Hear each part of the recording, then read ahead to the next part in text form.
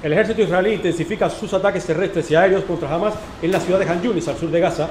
Durante las operaciones han muerto 210 palestinos en las últimas 24 horas, según el Ministerio de Salud de Gaza, controlado por Hamas.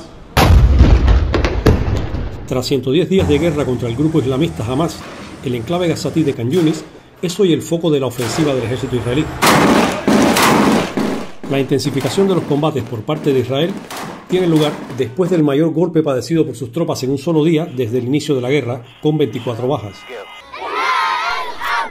El desconcierto reina entre la población civil palestina, obligada a desplazarse en múltiples ocasiones desde los ataques del 7 de octubre de Hamas contra Israel. Queremos regresar a nuestros hogares. Ahora estamos en un área abierta. Vine aquí con mis hijas, pero mi esposo y mis hijos no están con nosotros.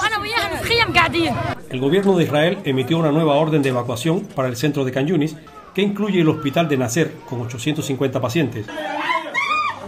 El hospital es de los pocos que queda para atender pacientes graves. Recientemente hubo un ataque en un centro de entrenamiento de la ONU en Han Yunis que alberga 10.000 personas desplazadas.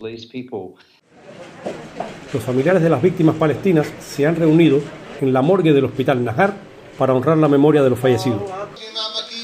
Mientras tanto, en Israel continúan los homenajes a los soldados fallecidos el pasado lunes cuando se derrumbó un edificio lleno de explosivos en Gaza. El brazo armado de Hamas se declaró responsable del ataque con un misil que derrumbó el edificio.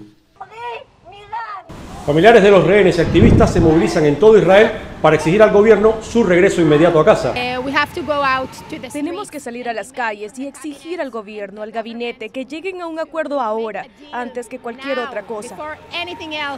Los principales focos de las protestas de este miércoles han sido el cruce de Keren Shalom, la Knesset, y la residencia del primer ministro Benjamín Netanyahu. Alejandro Ernesto, Voz de América, Jerusalén.